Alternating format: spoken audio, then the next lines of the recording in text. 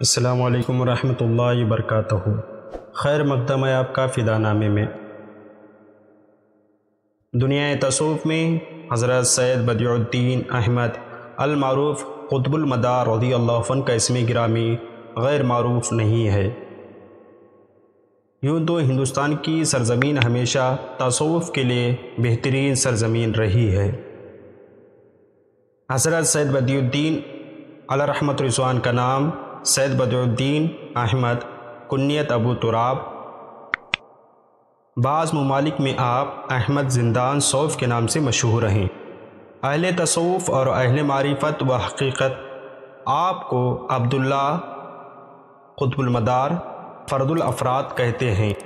مدار عالم، مدار دو جہاں، مدار العالمین شمش الافلاق آپ کے القابات مقدسہ ہیں۔ بر صغیر ہند و پاک میں حضرت زندہ شاہ مدار اور زندہ ولی کے نام سے زیادہ شہرت حاصل رکھتے ہیں۔ آپ کی ولادت باسعادت صبح و صادق کے وقت پیر کی دن یکم شوال المکرم سن دو سو بیالیس ہجری مطابق آٹھ سو چھپن عیسوی میں ملک شام کے شہر حلب کے محلہ جنار میں ہوئی۔ صاحب عالم سے سن ولادت کی تاریخ نکلتی ہے۔ آپ کے والد ماجد کا نام نامی اسم گرامی سید قاضی قدوت الدین علی حلبی ہے اور والدہ مصوفہ سیدہ فاطمہ ثانیہ عرف بی بی حاجرہ سے مشہور ہیں۔ حسنی اور حسینی سید ہیں۔ حضرت سید بدی الدین زندہ شامدار رحم اللہ علیہ اپنا حسب و نصب ان الفاظ میں بیان فرماتے ہیں۔ یعنی میں حلب کا رہنے والا ہوں، میرا نام بدی الدین ہے۔ ماں کی طرف سے حسنی اور باپ کی طرف سے حسینی سید ہوں۔ میرے نانا حضرت محمد مصطفیٰ صلی اللہ علیہ وسلم ہیں، جن کی تعریف دو جہاں میں کی جاتی ہے۔ حضرت خاضی حمید الدین ناگوری علیہ رحمٰ نے اپنے ملفوظات میں آپ کا شجر نصب تحریر فرمایا ہے۔ حضرت زندہ شامدار جب شکم مادر سے جہاں تیرا تار میں جلوہ بار ہوئے تو روئے انور کی تابانی سے وہ مکان جگمگا اٹھا، جس میں آپ پیدا ہوئے پیدا ہوتے ہی جبین نیاز کو خالق بنیاز کی بارگاہ میں بحر سجدہ جھکا دیا۔ زبانی حق سے یہ صدا بلند فرمائی، لا الہ الا اللہ محمد الرسول اللہ۔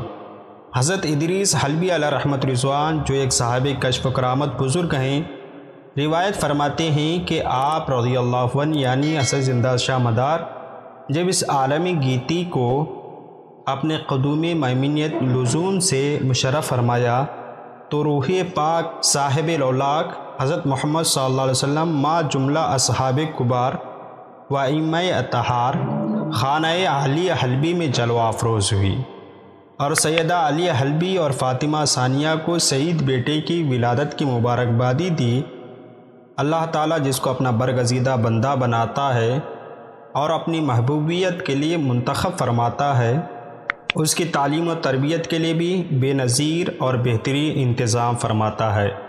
چنانچہ جب زندہ شاہ مدار رضی اللہ عنہ کی عمر چار سال، چار ماہ اور چار دن کی فی تو سلف صالحین کی سنت کے مطابق والد گرامی نے بمنشاء رحمانی آپ کو رسم بسم اللہ خانی کے لیے قطب ربانی شیخ کے وقت حضرت حضیفہ معرشی شامی متوفی دو سو چھیاتر ہجری کی بارگاہ میں لے کر حاضر خدمت ہوئے۔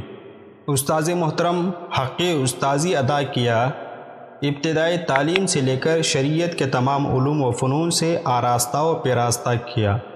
جب آپ کی عمر شریف چودہ سال کی فی تو علوم عقلیہ و نقلیہ میں آپ کو مہارت تامہ حاصل ہو چکی تھی حافظ قرآن مجید ہونے کے ساتھ ساتھ آپ نے تمام آسمانی کتابوں، خصوصاً توریز زبور اور انجیل کے بھی حافظ و عالم تھے۔ اسد مختوم اشرف جہانگیر سمنانی رضی اللہ عنہ فرماتے ہیں، بعض علوم نوادر مثلاً ہیمیا، سیمیا، کیمیا اور ریمیا میں کمال دسترس رکھتے تھے۔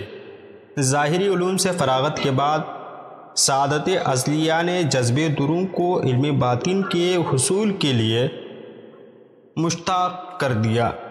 جذبہ شوق نے زیارت حرمین شریفین کے لیے قدم بڑھایا۔ والدین کریمہ سے اجازت طلب کی اور عظیم مکہ اور مدینہ المنورہ ہو گئے۔ جب وطن سے باہر نکلے تو خدا کی قدرت نے حریم دل سے صدا دی کہ اے بدی الدین اے بدی الدین سہن بیت المقدس میں تمہاری مرادوں کی کلید لے ہوئے، چاوی لیے ہوئے۔ اولیاء اکرام کے سردار با یزید بستامی سراپا انتظار میں ہیں۔ آپ نے عزم کے راہوار کو بیت المقدس کی طرف موڑ دیا اور دو سو انسٹھ ہجری میں سلطان الاولیاء حضرت بازید بستامی علیہ رحمت رضوان نے سہن بیت المقدس میں نسبت صدیقیہ تیفوریہ و بصریہ سے سرفراز فرمایا اور اجازت و خلافت کا تاج سر پر رکھ کر حلۂ باطن سے آراستہ و پیراستہ فرمایا۔ تھوڑی مدت تک مرشد برحق کی معیت میں رہ کر عرفان کی نعمتوں سے مستفیض ہوئے۔ ذکر و اشغال اوراد وظائف اور ریاضات و مجاہدات کے ذریعے طریقت و حقیقت اور سلوک کی منزلوں اور معرفت کے اسرار و رموز کے مقامات کو طے کرتے رہے۔ مرشد برحق نے ذکر دوام اور جزدم کی بھی تعلیم فرمائی اور ہر وہ عمل کرتے رہے جس کی تاکید مرشد برحق نے فرمائی۔ مرشد سے جدائی کے بعد حضرت زندہ شمدار اپنے حاصل مراد معبود حقیقی کی یاد سے حریمی دل کو آباد کرنے لگے اور ایک مخصوص مقام پر ذکر جانے جانا میں محو مستغرق ہو گئے۔ آپ نے ایسی گوشہ نشینی اختیار فرمائی کہ دنیا کے تمام چیزوں سے قلب پاک معرہ ہو گیا اور آپ کا باطن خالی اور مصفہ ہو گیا اور دنیا و آخرت سے مجرد ہو گئے۔ تجلیات ربانیہ کے ہمراہی اور مشاہدات حقانیہ کے ہمنوائی میں ایک طویل عرصہ گزر گیا۔ ایک رات وارفتگی شوق کے عالم میں تھوڑی دیر کے لیے آنکھوں کے دریچے بند ہوئے تھے کہ خواب میں مصطفیٰ جان رحمت صلی اللہ علیہ وسلم کی شیبی مبارک جلوہ افروز ہوئی اور ایک شرین آواز کانوں میں گونج اٹھی، بدی الدین تمہاری مرادوں کے حصول کا وقت قریب آ گیا ہے۔ کمبد خزرہ کے مکین تیرے نانا جان سنیری جالیوں سے تیری راہ تک دیکھ رہے ہیں اور آنکھیں کھلی تو دل کی دنیا میں مسرتوں کا طوفان برپا تھا۔ وارفتگی شوق، احساس و وجدان پر چھائی چلی گئی، لیکن خرد نے سرگوشی کی، کیا اے شوق مچل؟ اے پاؤں ٹہر، اے دل کی تمنا خوب تڑپ۔ آپ نے اپنے راہ روی شوق کو خانہ کعبہ کی طرف موڑ دیا۔ موسم حج شروع ہو چکا تھا۔ فریض حج و زیارت ادا کیا۔ جب جمال الہی کی تجلیوں کے فروغ سے قلب دروں کندن ہو گیا تو دل بیتاب پر مدینہ منورہ کے احساسات چھاتے چلے گئے۔ وہ سرزمین جس کے نام کو سن کر اہل ایمان کی دڑکنیں تیز ہو جاتی ہیں اور وہ نورانی گلیاں جن میں جاروب کشی کے لیے آنکھیں اور پلکیں آرزو مند رہتی ہیں، مسجد نبی کے وہ معطر اور منقش ستون جنہیں تصور میں دیکھ کر ہی احساس و وجدان سجدہ ریز ہو جاتے ہیں۔ وہ گنبد خزرہ جس میں سے نور کی شعائیں پھوٹ پھوٹ کر ساری کائنات کو روشن کرتی ہیں۔ حضرت خطب المدار رضی اللہ تعالیٰ بارگاہ رسالت میں حاضر ہوتے ہیں اور دل کی بیتابی کو قرار مل جاتا ہے۔ استراب شوق پر حصول تمنا کی امیدوں کا غلبہ ہو رہا ہے۔ احساسات پر سکون کی خنکی چھائی ہوئی ہے۔ رات اپنے آخری مرحلے میں داخل ہو چکی ہے۔ فجر صادق اپنے اجالے کو کائنات پر بکھیرنے کی تیاری کر رہا ہے۔ اسی اسنا میں رحمت و نور کے پیغمبر حضور سرور کائنات صلی اللہ علیہ وسلم اپنی نورانیت کے ساتھ عالم مثال میں ظاہر ہوتے ہیں۔ اور اپنے فرزند بدی الدین قطب المدار کو اپنے دامن رحمت میں ڈھانپ لیتے ہیں۔ قطرہ سمندر سے مل کر سمندر ہونے جا رہا ہے۔ ذرہ آفتاب بن رہا ہے۔ ساتھ ہی میں امیر کبیر حضرت حضرت مولا علی رضی اللہ عنہ عیا ہوتے ہیں اور بارگاہ رسالت سے حکم جاری ہوتا ہے۔ اے علی، اپنے نور نظر کو روحانیت کی تربیت دے کر اور رجل الکامل بنا کر میرے پاس لاؤ۔ بالآخر مدینہ منورہ میں ایک عرصہ گزارنے کے بعد، سرزمین ہند جس کے لالا زاروں سے گلستان سے پھوٹی ہوئی ایمان و یقین کی خوشبو بارگاہ رسالت میں محسوس کی جاتی ہے، اس ہندوستان کے لیے روانہ ہو جاتے ہیں۔ حضرت زندہ شاہ مدار رضی اللہ عنہ حضور نبی کریم صلی اللہ علیہ وسلم سے اجازت حاصل کر کے ہندوستان کے لیے روانہ ہو جاتے ہیں۔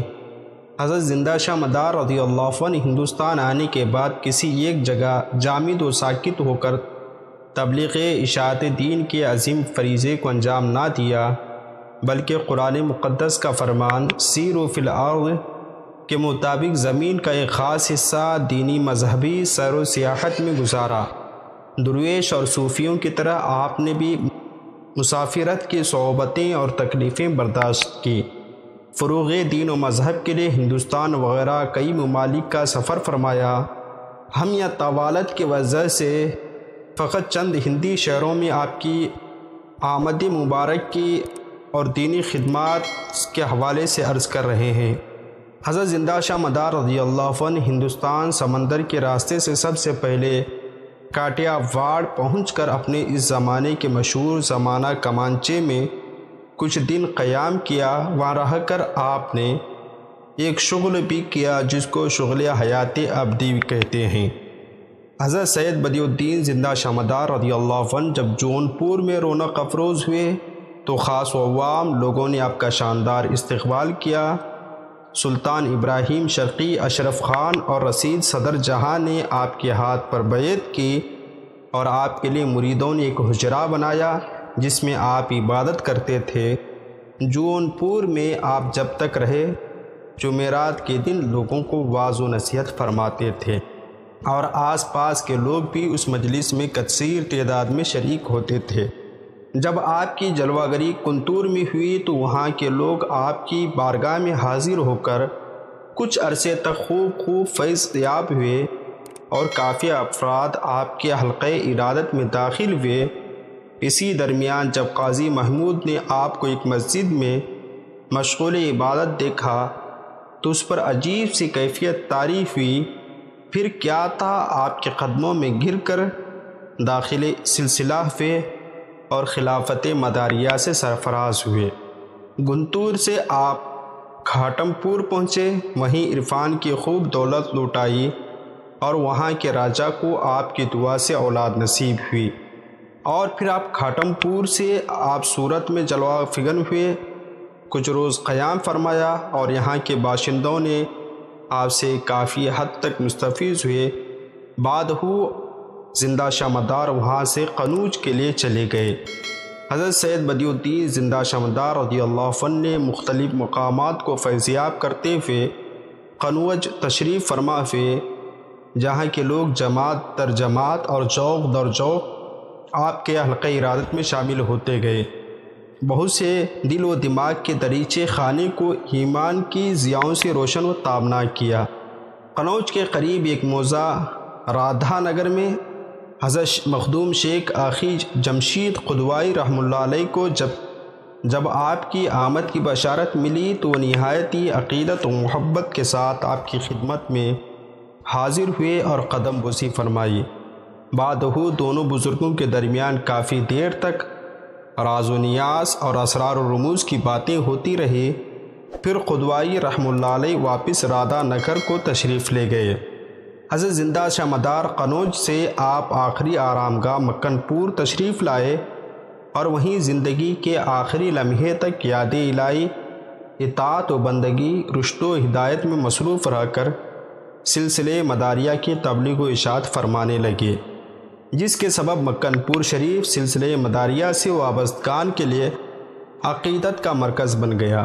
حضرت کے مکن پور شریف پہنچنے پر ہی وہ تالاب بھی خشک ہو گیا، جس کے بارے میں حضور نبی کریم صلی اللہ علیہ وسلم نے آپ کو بشارت دی تھی اور اس تالاب کی لہروں سے یا عزیز کی آواز بھی آنا بند ہو گئی۔